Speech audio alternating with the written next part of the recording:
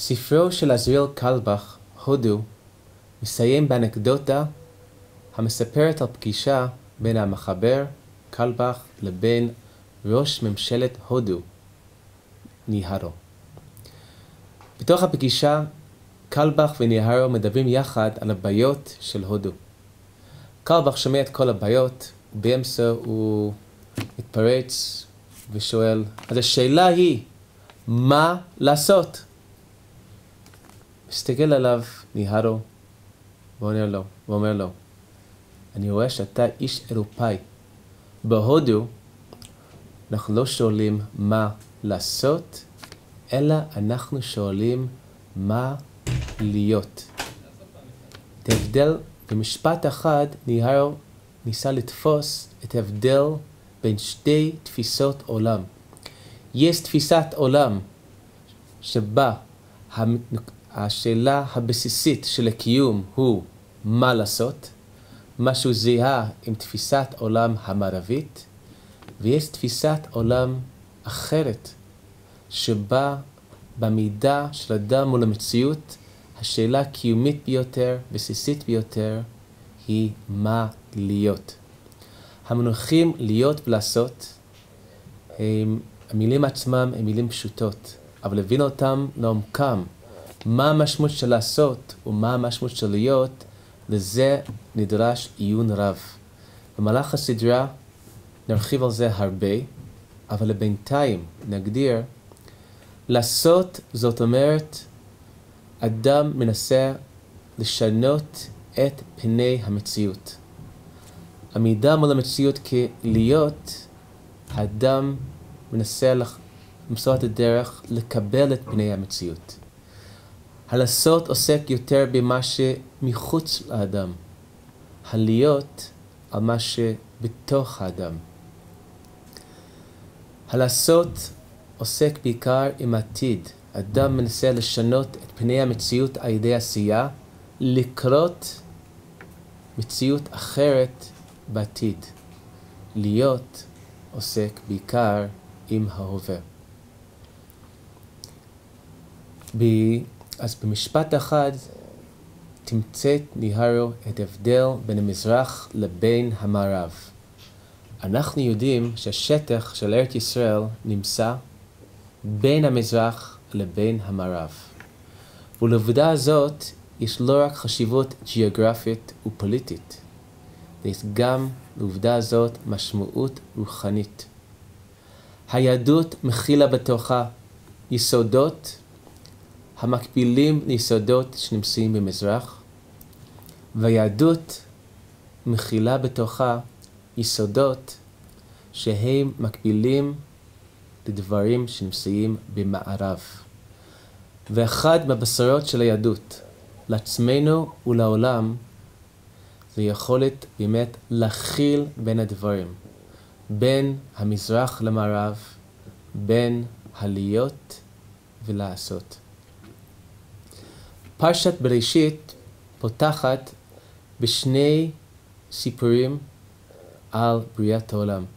הסיפור נאמר פעמיים, ויש הבדלים גדולים בין שני הסיפורים.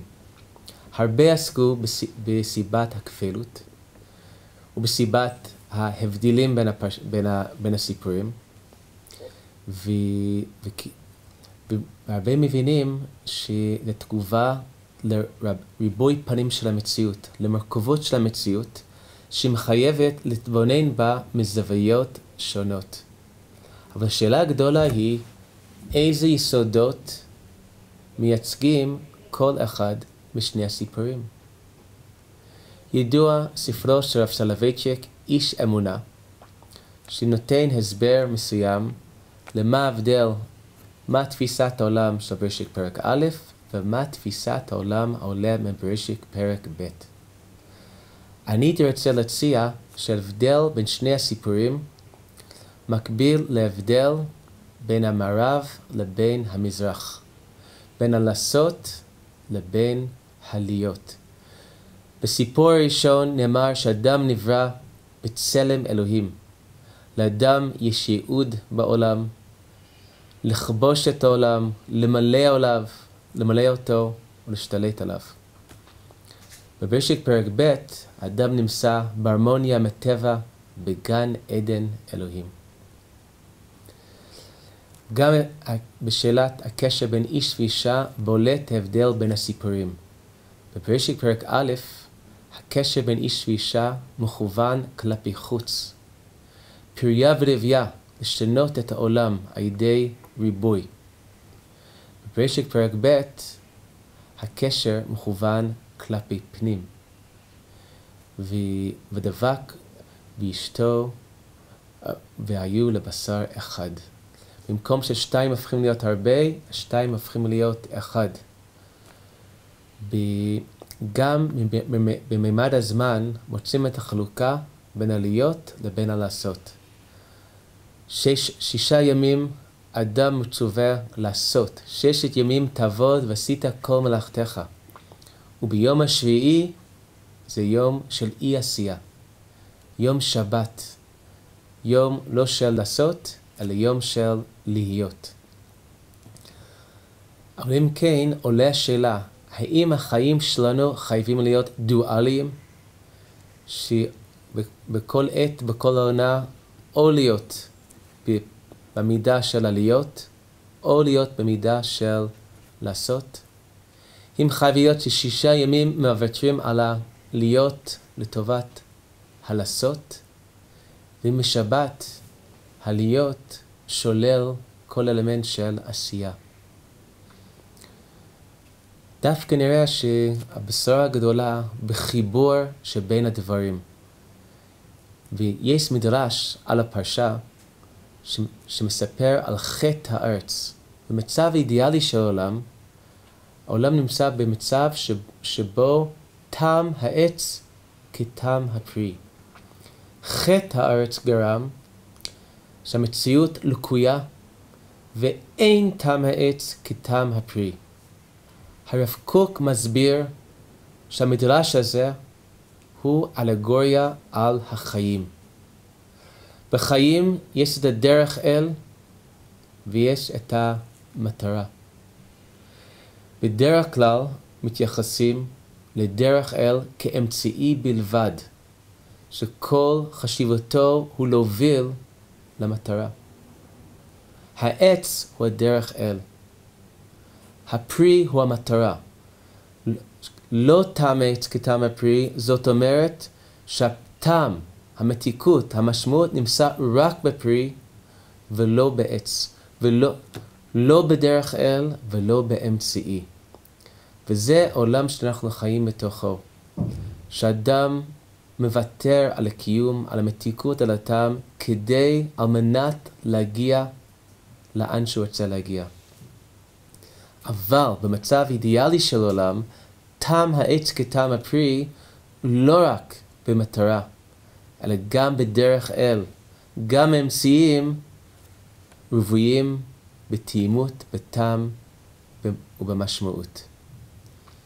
כדי להסביר את הרעיון הזה, נזכיר אנקדוטה מספר טאם סויר. הדודה פולי רוצה להעניש את טאם, ואז יש לה הברקה. היא רצה שהגדר מסביב לבית שלה תהיה צבוע לבן. אבל כידוע, כדי שזה יקרה, מישהו צריך להזיע, מישהו צריך לעבוד. אז היא מחליטה להעניש את תום ולחייב אותו ביום, ביום החופש שלו לצבוע את הגדר מסביב לבית. דודה פולי חי במציאות של אין טעם העץ כטעם הפרי. הפרי הוא מתוק, שיהיה לה גדר יפה. אבל הדרך אל זה סבל, זה עונש. אבל טעם יודע את סודו של טעם העץ כטעם הפרי, ולכן נקרא טעם. וטעם, וכשחברים באים ללעג לו שהוא צריך לעבוד ביום החופש, הוא מסתכל עליהם בתדהמה. מה זאת אומרת? אני רוצה לעשות את זה. בחיים לא עשיתי דבר כזה.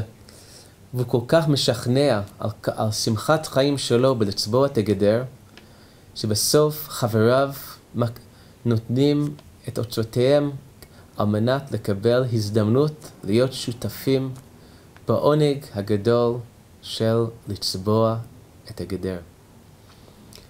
הרעיון הזה יכול להסביר לנו גם את המשמעות של החטא וגם העונש שהיה בגן עדן. ב... כידוע, כתוצאה מאכילה מעץ הדת טוב ורע, הדם נענש שבזיעת אפיך תוך הלחם.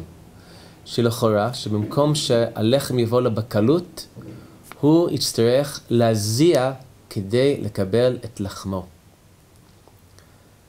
אבל על זה אני יכול להעלות שאלה, שאני זוכר שאחרי ההתנתקות הביאו את כל כפר דרום מבתיהם והביאו אותם לגור בבית מלון בעיר באר שבע. הלכתי לבקר את העקורים, ובתוך הבית מלון ראיתי שמקבלים חינם שלושה סעודות ביום, מישהו אחר מכין אותם, מישהו אחר שוטף את הכלים.